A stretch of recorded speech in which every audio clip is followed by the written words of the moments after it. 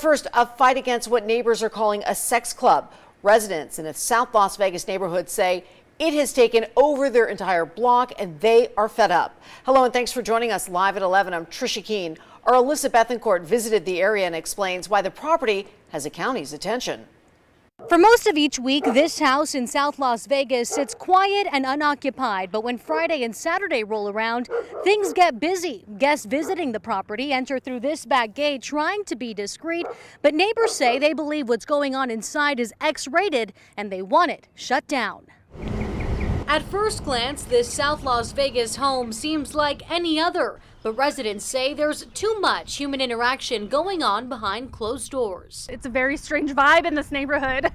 Kelly Amar lives just across the street. She says the area has always been quiet up until last month when dozens of cars and hundreds of people started showing up for what she believes was the first of many sex parties. It was an Airbnb rental property and now it has become a swingers club. Posts on social media pages promote the property as a one-stop shop for promiscuous events.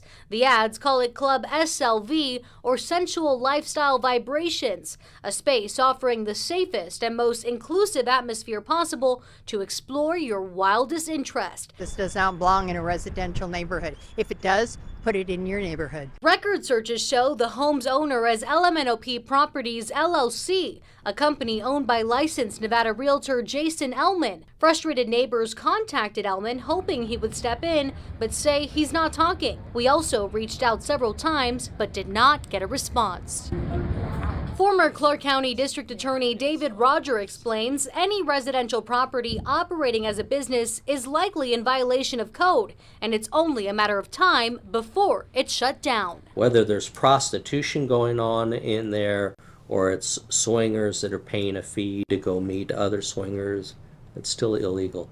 Clark County Code Enforcement confirms officers have been to the property several times, even posting this cease and desist letter on the garage for violating the zoning ordinance. That notice has since been taken down.